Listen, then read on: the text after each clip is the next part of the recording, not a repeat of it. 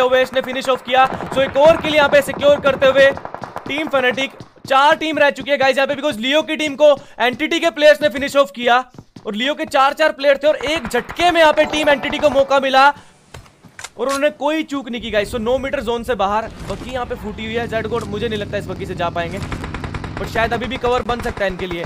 But यहाँ पे गोलियाँ स्पैम होते हो एनएस की टीम की तरफ़ से।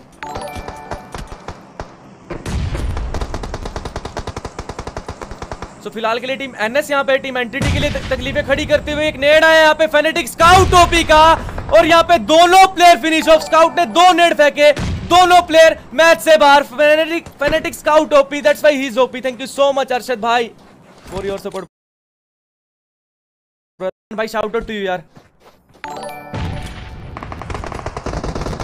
सब स्काउट के ऊपर गोलियाँ बरसते हुए तीन टीम इसमें जो बाकी। Team NS team and team Fnatic मुझे लगता है अब की बार टीम फेनेटिक पूरा फुल कॉन्फिडेंस में यहाँ पे पिछले मैच में सेकंड पे, अब की अब की बार टॉप टू में आ चुके हैं और चिकन डिनर तैयार होते हैं। यहाँ पे फ्लेयर ड्रॉप आया है और फ्लेयर ड्रॉप का फ़ायदा का सिर्फ़ एक होने वाला है यहाँ पे।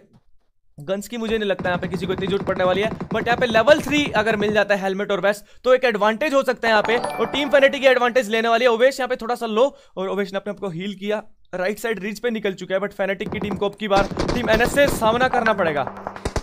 क्योंकि अगर यहाँ पे एनएस नहीं फिनिश हुई तो टीम पेन भी यहाँ पे फायरिंग कर सकते हैं। परितोष आगे बढ़ते हुए Scout OP knock out team Fanatic zone ने साथ नहीं दिया। और इसीलिए मुझे लग रहा है यहाँ पे टीम फेनेटिक के साथ गड़बड़ होने वाली है। और यहाँ पे स्मोक के अंदर नेट भी फेंके गए guys 1.3 K three K people are watching me on my channel और उनतीस लोग मुझे देख रहे हैं।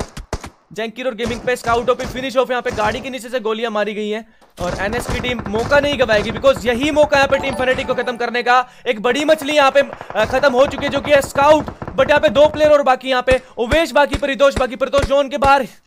नोक डाउट सो जोन ने किया। हील करते करते यहाँ पे परितोष खत्म हुए और ओवेश को भी शायद यहाँ पे फिनिश ऑफ़ किया जा सकता है बिकॉज़ एक साइड है टीम पेन दूसरी साइड टीम एनएस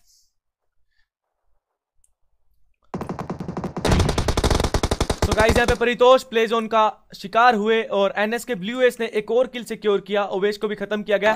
तो ये मैच भी काफ़ी पॉजिटिवली टीम फेनेटिक के लिए थर्ड रैंक पे ज़रूर आया लास्ट में प्लेज जोन ने साथ नहीं दिया, नहीं तो यहाँ पे चिकन डिनर लग रहा था, अगर बात की जाए टीम एनएस और टीम पेन की तो दोनों के पास पोजीशन काफ़ी तगड़ी और पेन की टीम अब की, और पोजीशन काफ़ी अच्छी अपने पकड़ के रखे अभी लास्ट में भी जोन इनका साथ दे रहा है बट अभी भी सोलह सत्रह मीटर दूर जाना टीम एनएस को, और इनका जोन के अंदर जाना मुझे लगता है काफ़ी ज़्यादा मुश्किल यहाँ पे। जितने मर्ज़ी स्मोक कर ले, अगर पेन की टीम की तरफ़ से स्मोक के अंदर मोली या नेड थोड़े से अगर फेंक दिए जाए तो यहाँ पे ज़रूर नुकसान हो सकता है, और की फाइट काफ़ी कम देखी जाती है बट अब की बार काफ़ी मज़ा आने वाला है बिकॉज़ बराबरी की फाइट यहाँ पे।